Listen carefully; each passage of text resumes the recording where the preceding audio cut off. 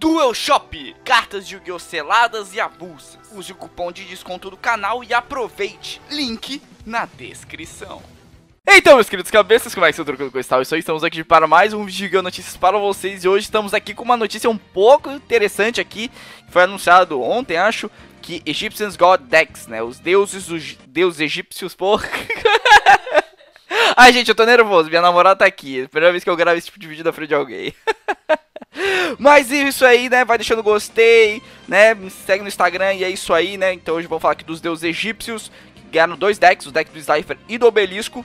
Então é isso aí, vamos já dar uma falada aqui no que, que vai vir disso aqui. Eu também quero falar, antes de falar das cartas dos egípcios, eu quero falar de duas cartas que foram anunciadas, acho que semana passada, que eu não ia fazer um vídeo pra isso, mas agora tá aqui. Que uma delas é essa aqui, que é a fusão do Gaia. Então antes de falar do deck dos egípcios, vamos só dar uma panorada aqui.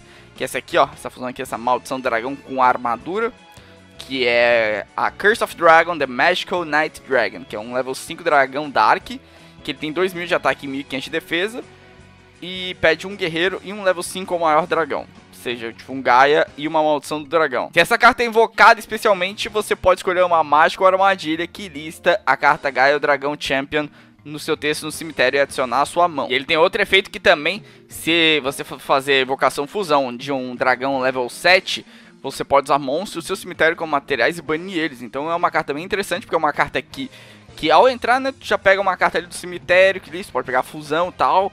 E o efeito dele também facilita de tu fazer ele fusão coisa do cemitério. Então facilita materiais. E tem um jeito fácil de invocar ele com Instant Fusion. Então é uma carta assim que provavelmente o Gaia vai usar. Né, provavelmente vai usar uma, porque tu vai usar uma Instant Fusion. Normalmente tu não vai fazer ela com uma carta normal. Até talvez sim, porque pode usar a carta de fusão de Gaia, daí faz fusão, invocou ele, aí tu vai pegar a carta de volta, aí tu vai fazer fusão de novo, daí tu pode banir as coisas do cemitério, então também dá pra fazer assim. Até na verdade eu acho que dá até pra usar três, né? Mas, enfim, eu que jogo de Gaia vou gostar bastante de usar essa carta, né? Espero que chegue por um preço bacana. E a outra carta aqui também é um dragão armado. Aqui, ó, diferente. Que é o... como é que é o nome dele? É o Pile Armored Dragon, que é level 7 vento dragão, 2.800 mil. E o efeito dele é que você pode enviar um dragão monstro, que pode ser vento, ou um level 7 maior da sua mão para o cemitério, exceto essa carta, e invoca essa carta. Então tu descarta e invoca ele. E daí você pode enviar, pelo segundo efeito, um dragão armado monstro da sua mão ou deck para o cemitério, exceto essa carta, escolher um monstro que você controla. E você só pode atacar com monstro pelo resto do turno, e daí o alvo que escolhido ganha 300 de ataque vezes o level do monstro enviado. Então, esse aqui é bem mais ou menos assim, né? Eu não sei, eu não jogo de dragão armado, né? Mas tem isso. E o Gaia eu também achei maneiro, né?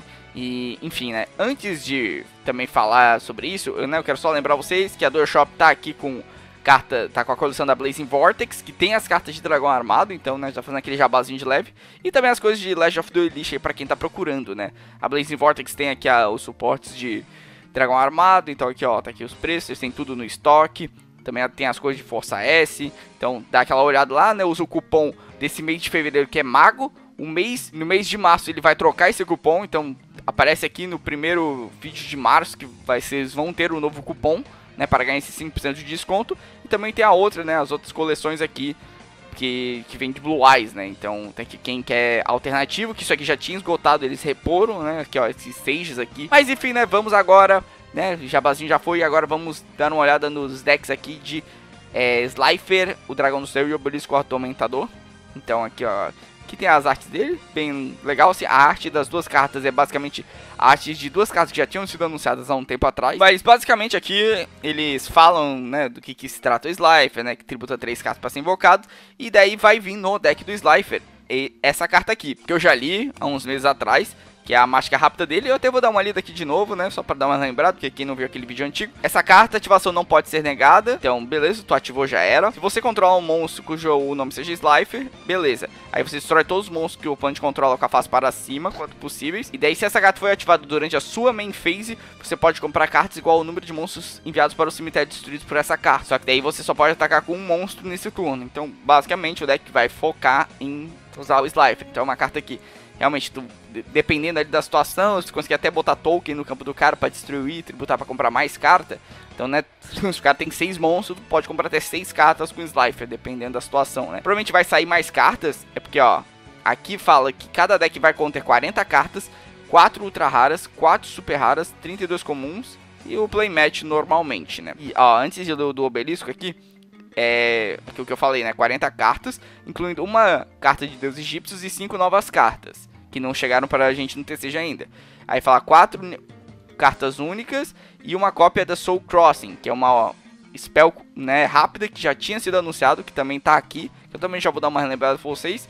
Que vai vir em ambos os decks, né? O do Obelisco, além do Obelisco e essa Soul Crossing aqui, vai vir também o Fist of Fate, né? O Punho do Destino, né? Que é o nome do golpe dele. Se você controlar um Obelisco Monstro, você ativa essa carta, daí nega o efeito de um monstro de efeito que seu oponente controla. Se você fizer isso, você destrói. E também o oponente não pode ativar efeitos, né? Os efeitos daquele mesmo monstro. Então, basicamente, ao usar essa carta, você nega tudo que aquele monstro pode fazer naquele turno, né? O card name. Mesmo cara que tem outra cópia na mão, também não vai conseguir usar.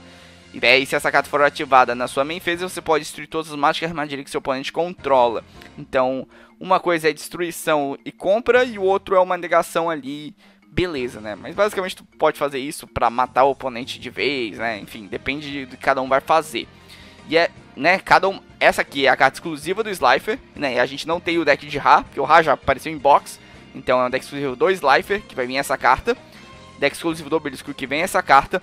E esse Sol Crossing aqui vai vir pros dois. Esses dois decks vão ser lançados pra gente 9 de junho. Então, daqui a pouco aí. Era previsível que havia esse tipo de deck, porque já tinha sido de besta sagrada, então provavelmente, né, ia vir uma coisa, mas não dá para saber se realmente, né, o que, que eles vão anunciar de esse, né, eles vão anunciar um mini Slifer, né, uma carta para invocar mais fácil o Slifer também, tem isso, né. Enfim, aí o, o, Soul Crossing, que também vai vindo os dois baralhos. E esse efeito é que durante a fase principal, imediatamente depois que essa carta resolver, você pode tributar um Divina Monstro, né? Você pode dar tributo summon ali.